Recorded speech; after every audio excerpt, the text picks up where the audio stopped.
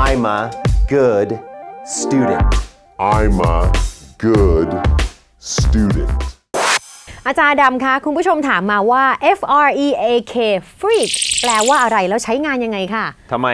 สะให้พูดใจอีกมากครั้งใช่เวไหมลาคะพูดแบบ freak No you're a freak No, นะ you're a freak No you're a freak Quit being such a freak ก่อนจะทะเลาะกันนะช่วยตอบคำถามก่อนได้ไหมคะอาจารย์ดก็ freak ถ้าเป็นคำนามแบบนี้นะครับแปลว่าคนประหลาดนะครับหรือว่าคนพิลึกกึกกือนะครับหรือำฉันกิ้งรู้จักกือดีเลยค่ะนะคนหนึ่งค่ะ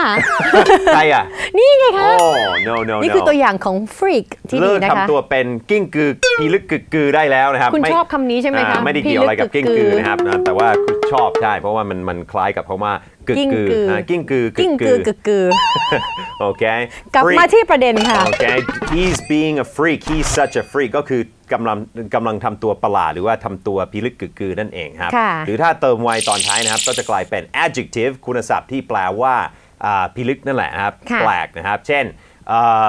หรือน่ากลัวก็ได้นะครับ ถ้าเป็นโอเคหนังนะครับที่สยองขวัญอาจจะเป็น this movie is so freaky this movie is so freaky ก็คือน่ากลัวน่ากลัวพิลึกกึกกือนะครับ ค่ะ แล้วถ้าหากว่าใช้เป็น adverb ล่ะคะอาจารย์ดำเพราะก็เคยเคยเห็นการใช้งานคำนี้ในแบบที่เป็น adverb เหมือนกัน อ๋อ ใช้บ่อยนะครับ ก็คือ freaking แล้วก็ต่อต่อด้วยคำ adjective เช่น it's ค่ะ freaking hot นะครับ ก็จะแปลว่าโคตรนะครับ ก็คือคำหยาบนิดนึงแต่ไม่หยาบมากนะครับ เพราะว่าจะมีคำหนึ่งที่คล้ายคำไทยว่า ฟักทองนะครับที่เป็นคำสะบทสาบานไม่เพราะในภาษาอังกฤษนะครับ แต่มีคำเลี่ยงก็คือคำนี้แหละนะครับเอ่อ freaking it's freaking hot I'm freaking handsome โอ้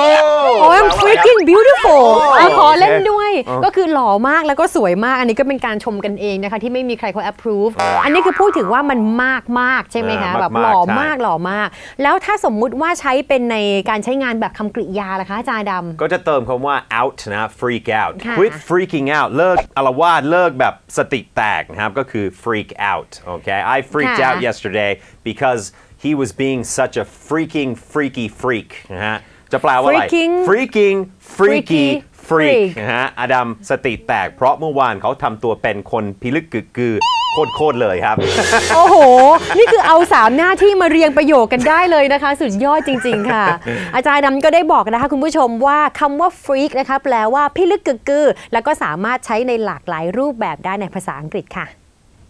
a glutton นะฮะ a glutton is a person who eats too much กินเยอะไปนะครับ ค่ะ Are you a glutton